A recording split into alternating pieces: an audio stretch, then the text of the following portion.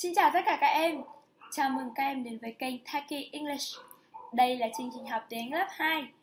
Hôm nay cô Hải rất vui vì được tiếp tục đồng hành và hỗ trợ các bạn nhỏ học bài số 4 trong chương trình tiếng Anh lớp 2. Unit 4 in the countryside. Và để buổi học được hiệu quả nhất, các em nhớ lấy vở, bút để mình có thể ghi chép bài.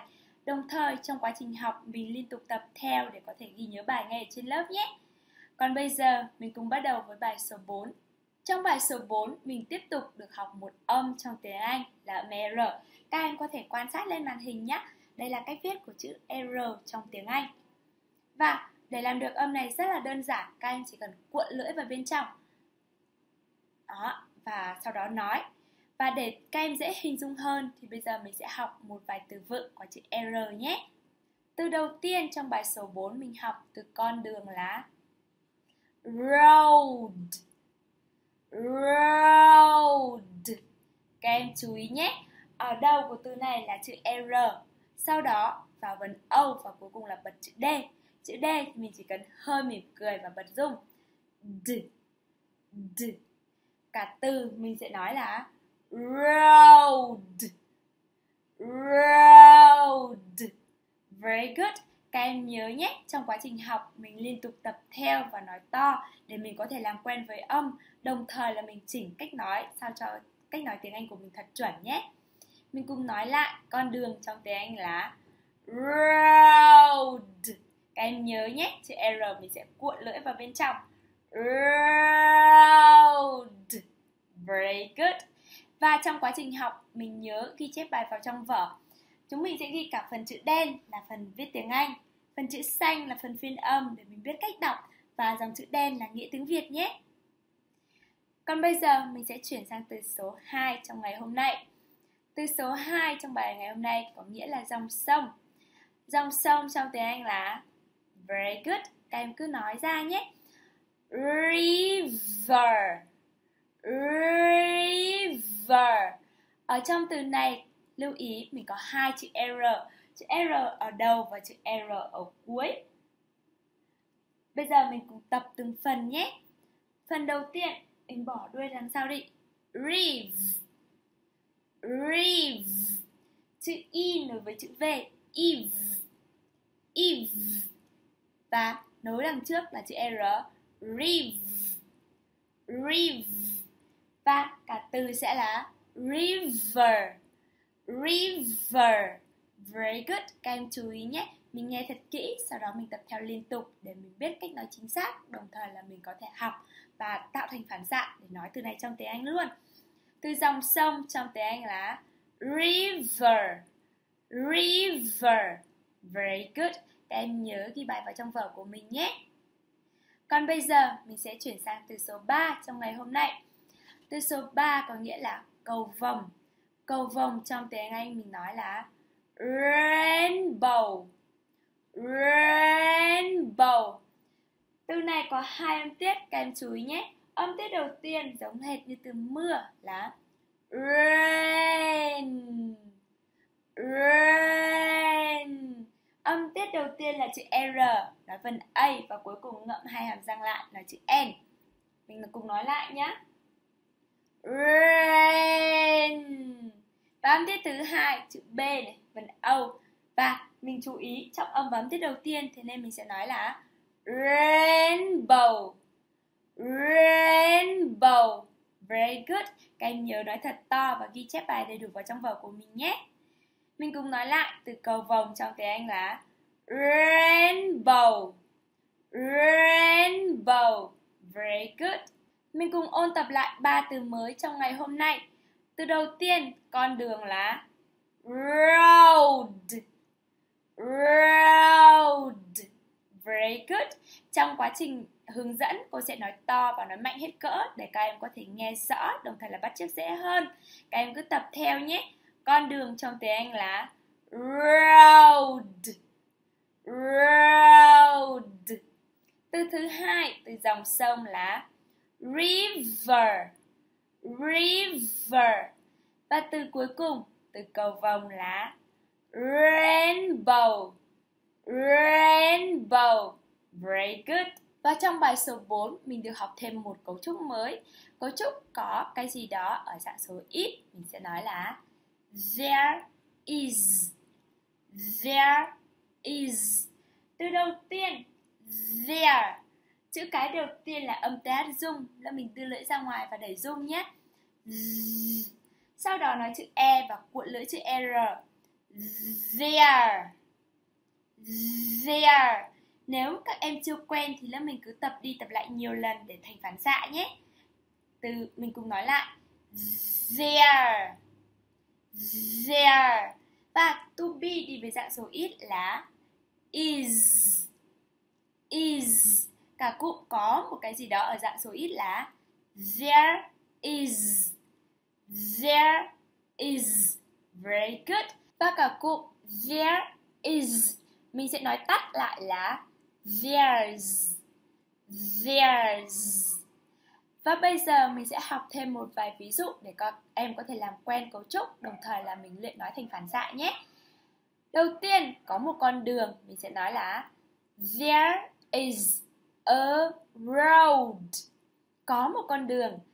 There is a road. Và dạng nói tắt, mình nói là There's a road. There's a road. There is a road. There's a road. There's a road. There's a road. Very good. Câu ví dụ số 2. Có một dòng sông dạng nói tắt là There's a river. There's a river. There's a river. There's a river. Very good.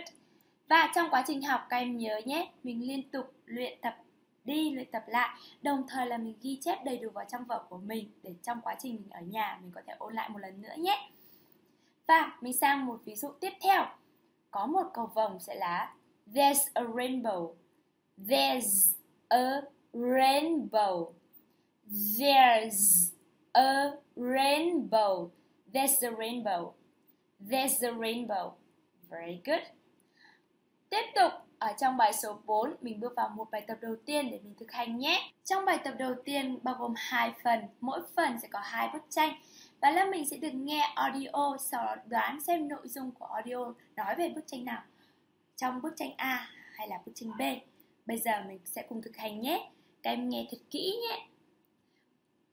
Yêu cầu đầu tiên mình sẽ xem là bức tranh A hay bức tranh B nhé. 1. There's a river. Mình cùng nghe lại nhé. 1. There's a river.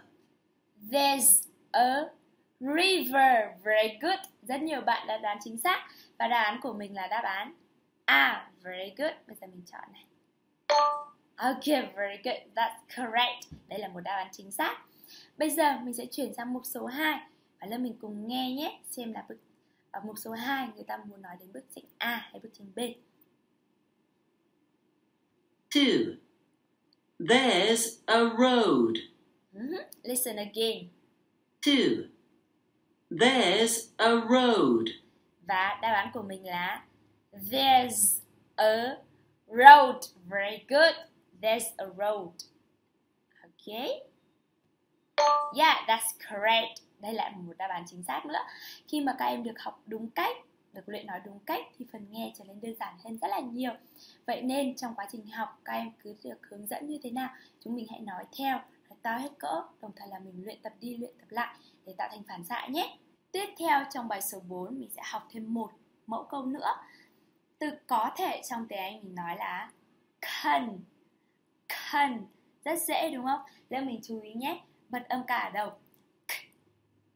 và cả từ có thể là can can bạn có thể sẽ là you can you can bạn có thể tiếp tục động từ nhìn là see see. Lên mình chú ý nhé. Có âm s ở đầu. Lên mình cười mỉm, sau đó đẩy hơi. Và ghép vào chữ y đằng sau. See see. Nhìn trong tiếng anh là see. Very good. Và mình có cả câu bạn có thể nhìn lá. You can see. You can see. Các em nhớ nhé, để việc luyện nghe nói tiếng Anh thành phản xạ nên mình cứ tập đi tập lại nhiều lần đồng thời nói to hết cỡ để mình chỉnh phần âm của mình cho đúng nhé. Mình nói lại cả câu bạn có thể nhìn lá. You can see. You can see. Và tiếp theo mình chuyển về dạng câu hỏi. Đơn giản mình chỉ cần đổi từ can lên đầu câu. Từ you can see mình sẽ chuyển thành can you see? Can you see? Can you see?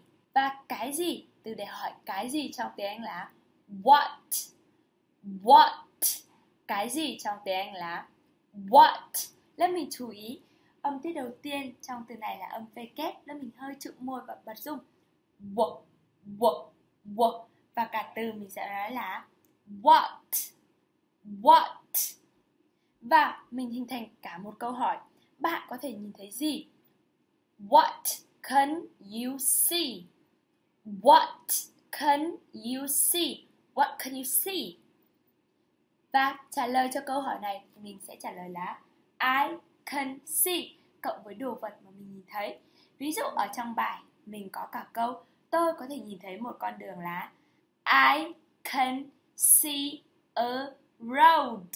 Tôi có thể nhìn thấy một con đường. I can see a road. Very good. Giờ mình chú ý nhé. Mình ghi cả phần chữ đen, phần tiếng Anh này, phần phiên âm và phần nghĩa tiếng Việt để mình có thể ôn tập ở nhà nhé. Mình cùng nói lại cả câu Tôi có thể nhìn thấy con đường là I can see a road I can see a road Tôi có thể nhìn thấy một con đường Tiếp tục, bây giờ không phải là nhìn thấy một con đường nữa Mà nhìn thấy một dòng sông I can see a river I can see a river Thật dễ đúng không? Chúng mình chỉ cần học câu mẫu sau đó ghép các danh từ tương tự. Tôi có thể nhìn thấy một dòng sông. I can see a river. I can see a river. I can see a river. Tiếp tục, tôi có thể nhìn thấy cầu vồng. I can see a rainbow. I can see a rainbow. I can see a rainbow. I can see a rainbow. Very good. Và để thực hành cho cấu trúc câu vừa rồi, mình có một bài tập nhỏ ở phần số 7. Phần số 7 mình có câu hỏi là What can you see? Và ba bức tranh. What is it? Bức tranh đầu tiên là Very good. A road. A road. Okay. B. Yeah, a rainbow. A rainbow. And very good. A river a river. Vậy mình sẽ ghép vào các câu. I can see a road. Very good. I can see a road. I can see a rainbow. I can see a rainbow. I can see a river. I can see a river. Let mình cùng thực hành đoạn hội thoại nhé. What can you see? I can see a road. Very good. So, what can you see? I can see a rainbow. I can see a rainbow. I can see a rainbow. Very good. And the next one, what can you see? I can see a river. I can see a river. Good job. Là mình thực hành rất là tốt đấy. Và bây giờ mình sẽ học cụm từ tiếp theo ở trong bài số 4. Cụm từ trên bầu trời sẽ là in the sky. Trên bầu trời là in the sky. Và mình có cả câu, câu vồng ở trên bầu trời sẽ là a rainbow in the sky. A rainbow in the sky. Câu vồng ở trên bầu trời. Tiếp theo, dòng sông ở gần con đường sẽ là a river near the road. A river near the road. Very good. Bầu cầu vồng ở trên trời sẽ là A rainbow in the sky. A rainbow in the sky. Và dòng sông ở gần đường sẽ là A river near the road. A river near the road. Very good. Và bây giờ mình sẽ ôn lại một lượt các từ vựng cũng như là các cấu trúc câu trong bài số 4 mình học nhé. Và trong bài số 4 mình học thêm một âm mới là âm R. Các em chỉ cần chú ý là mình cuộn lưỡi vào trong khi nói. Và mình học 3 từ vựng. Từ vựng đầu tiên, con đường là road. Road. Từ vựng số 2, dòng sông là river. River. Từ vựng số 3, câu vồng là rainbow. Rainbow. Tiếp theo mình học cấu trúc đầu tiên trong bài số 4 có một cái gì đó là there is. There is và mình nói tắt là there's. There's. Và mình học cả câu có một con đường là there is a road. There is a road và dạng nói tắt là there's a road. There's a road. Tiếp theo có một con sông sẽ là There's a river. There's a river. There's a river. There's a river. Very good. Và câu cuối cùng có một cầu vồng sẽ là There's a rainbow. There's a rainbow. There's a rainbow. Có một cầu vồng. There's a rainbow. Tiếp tục trong bài số 4 mình còn học thêm một cấu trúc nữa. À, cấu trúc bạn có thể là you can. You can. Cả câu bạn có thể nhìn là you can see. You can see. Chuyển sang dạng câu hỏi Can you see? Bạn có thể nhìn không? Can you see? Từ đề hỏi là cái gì là what? What? Cả câu bạn có thể nhìn thấy cái gì? What can you see? What can you see? What can you see? What can you see? Ba trả lời cả câu, tôi có thể nhìn thấy. I can see. Tôi có thể nhìn thấy một con đường. I can see a road. I can see a road. Tôi có thể nhìn thấy dòng sông. I can see a river. I can see a river. I can see a river. Tôi có thể nhìn thấy cầu vồng. I can see a rainbow. I can see a rainbow. I can see a rainbow. Tiếp theo mình còn học một số từ, một số câu chỉ vị trí. Trên bầu trời là in the sky. In the sky. Trên bầu trời. In the sky. Câu vồng ở trên bầu trời là A rainbow in the sky. A rainbow in the sky. Tiếp tục, dòng sông ở gần con đường là A river near the road. A river near the road. Very good. Vừa rồi cô Hải đã hướng dẫn các em toàn bộ kiến thức trong bài số 4 chương trình học tiếng lớp 2. Trong quá trình học, nếu các em có bất kỳ băn khoăn hay thắc mắc gì thì các em có thể comment bên dưới cô có thể hỗ trợ thêm nhé.